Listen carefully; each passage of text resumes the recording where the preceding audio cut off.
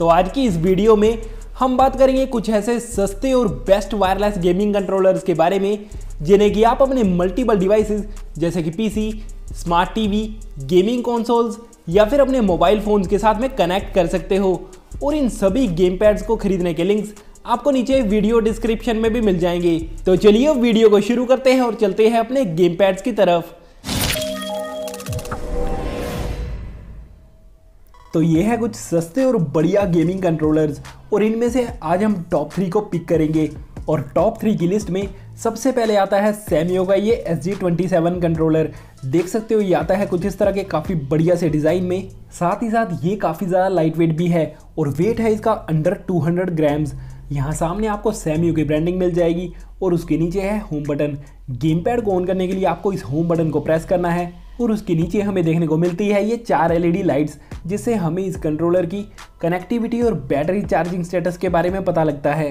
हालाँकि game pad पर हमें किसी भी की पर बैकलाइट तो देखने को नहीं मिलती, लेकिन यार सभी की सभी कीज़ की क्वालिटी जो है वो काफ़ी ज़्यादा अच्छी है। और यहाँ पर हमें कुछ इस तरह के ट्रिगर्स जो है वो देखने को मिलते हैं, और ये प्रेशर सेंसिटिव है। और जैसा कि मैंने आपको ऑलरेडी बताया कि गेम पैड जो है ये काफ़ी ज़्यादा लाइट वेट है, और इसका वेट है अंडर 200 ग्राम्स और यहाँ दोनों तरफ़ हमें रबराइज ग्रिप्स भी नहीं मिलती। लेकिन अपने इस बढ़िया डिज़ाइन और लाइट वेट होने के कारण गेमिंग करते वक्त इसे होल्ड करने में आपको कोई भी दिक्कत नहीं आएगी। और गेम पैड को चार्ज करने के लिए हमें ऊपर की तरफ़ एक माइक्रो यूएसबी पोर्ट मिलता है, जिसे आप अपने किसी भी फ़ोन चार्जिंग अडेप्टर के थ्रू चार्ज कर सकते हो। ओवरऑल डिज़ाइन और क्वालिटी इस कंट्रोलर की काफ़ी ज़्यादा अच्छी है। तो चलिए अब हम चलते हैं अपने अगले बेस्ट कंट्रोलर की तरफ़। जो कि है ये रेड गियर का जोनिक ये हमें देखने को मिलता है इस ग्रीन और ब्लैक कलर के कॉम्बिनेशन में और अमेजोन पर ये सिर्फ़ इसी एक कलर में ही अवेलेबल है। और क्वालिटी वाइज यार ये काफ़ी सॉलिड फील होता है। यहाँ दोनों ही तरफ़ हमें साइड्स में कुछ इस तरह की रबराइज ग्रिप्स मिलती हैं। तो ऐसे में इसे होल्ड करना आपको कुछ हद तक कंफर्टेबल लगेगा।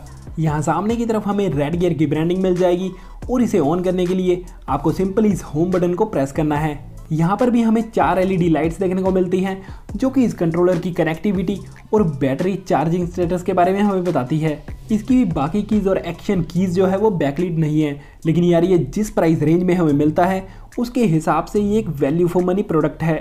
ओवरऑल सभी की सभी कीज़ की क्वालिटी भी काफ़ी ज़्यादा अच्छी है। और यहाँ पर हमें कुछ इस तरह के थोड़े ब्रॉड टाइप के ट्रिगर्स मिलते हैं, जो कि प्रेशर सेंसिटिव है। इस कंट्रोलर को भी आप अपने किसी भी माइक्रो एस केबल के थ्रू चार्ज कर सकते हो। और इन सभी गेम पैड्स की बैटरी के बारे में हम वीडियो में आगे चलकर डिटेल में बात करेंगे। और टॉप थ्री की लिस्ट में अगला बेस्ट कंट्रोलर है हमारा ये all time favourite Cosmic Byte का निब्यूला वायरलेस कंट्रोलर ये हमें देखने को मिलता है इस ग्रीन और ब्लैक के कॉम्बिनेशन में और अमेजोन पर ये और भी डिज़ाइन पैटर्न्स में अवेलेबल है। और मेरे हिसाब से सबसे बढ़िया डिज़ाइन इसी कंट्रोलर का है। देख सकते हो, हमारा ये कंट्रोलर आता है कुछ इस तरह के सिंपल और बढ़िया से डिज़ाइन में। सामने हमें यहाँ पर ये फुल रबराई स्ट्रक्चर मिलता है और साथ ही साथ हमारा ये वाला कंट्रोलर भी काफ़ी ज़्यादा लाइट वेट है। तो ऐसे में इस पर ग्रिपिंग और होल्ड जो है हमें सबसे ज़्यादा बढ़िया मिलता है। और बाकी गेम पैड्स के कंपैरिजन में सबसे बढ़िया ग्रिप हमें इसी गेम पैड पर मिलती है।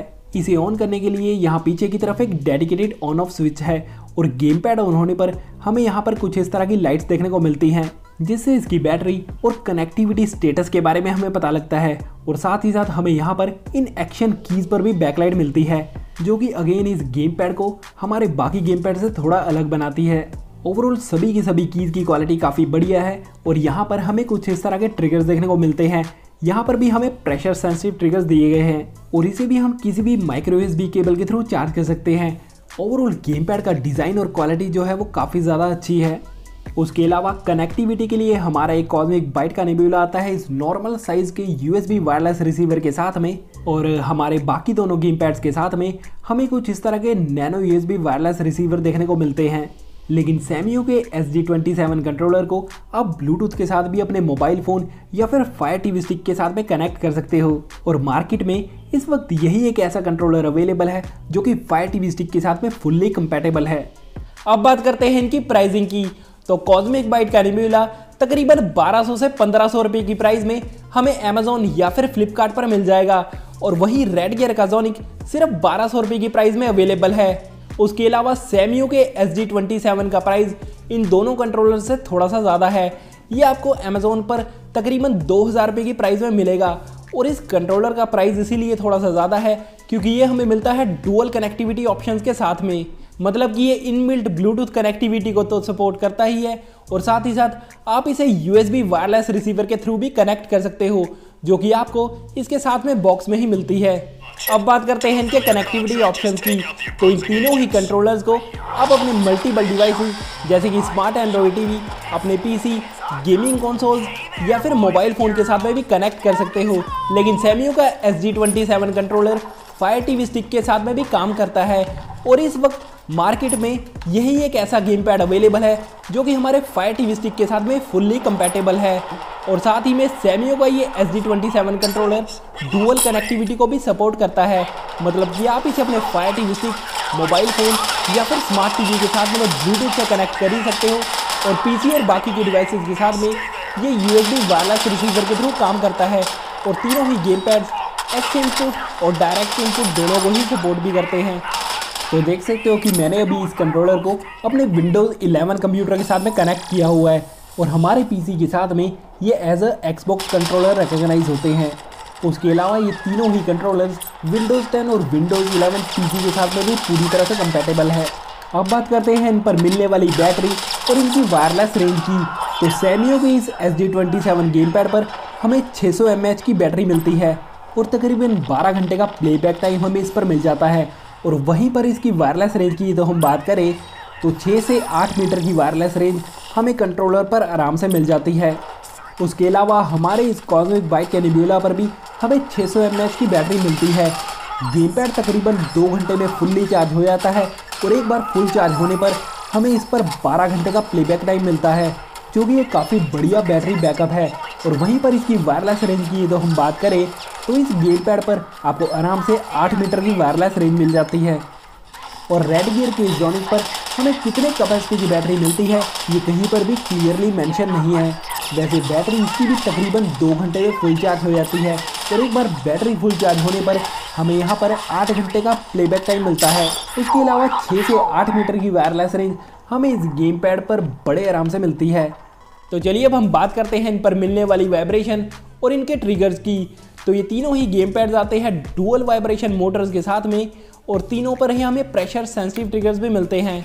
और कॉस्मिक पैड के निम्यूला पर हमें कुछ इस तरह की बढ़िया वाइब्रेशन फीडबैक मिल जाती है। वहीं पर रेड गेयर के जोनिक पर भी प्रेशर सेंसिटिव ट्रिगर्स अवेलेबल है और हमारे बाकी दोनों गेम पैड के कंपैरिजन में सबसे बढ़िया ट्रिगर्स हमें इसी गेम पैड पर मिलते हैं और इस पर भी हमें काफ़ी अच्छी वाइब्रेशन फीडबैक मिलती है। सैमियो के इस एस के ट्रिगर्स को भी आप यहाँ पर देख सकते हो, जो कि बिल्कुल परफेक्टली काम करते हैं। और इस वाले कंट्रोलर पर भी हमें सॉलिड वाइब्रेशन फीडबैक मिलती है। तो फ्रेंड्स ये थे हमारे तीन बेस्ट वायरलेस गेमिंग कंट्रोलर्स और आप मुझे नीचे कमेंट करके ज़रूर से बताइएगा कि आपको इन तीनों कंट्रोलर्स में से कौन सा ज़्यादा बढ़िया लगा। और आप कौन से गेम पैड की तरफ़ जाना पसंद करोगे। इसके अलावा यही तो इन तीनों कंट्रोलर्स के बारे में आप मुझसे कुछ भी और पूछना चाहते हो। तो आप मुझे नीचे कमेंट करके या फिर मुझे ईमेल करके भी पूछ सकते हो। तो फ्रेंड्स यही कुछ था आज की इस वीडियो में। आई होप आपको ये वीडियो पसंद आई हो। अगर आपको ये वीडियो पसंद आई तो यार इसे लाइक और शेयर ज़रूर से कर देना। और अब हम मिलेंगे किसी और वीडियो में, तब तक के लिए बाय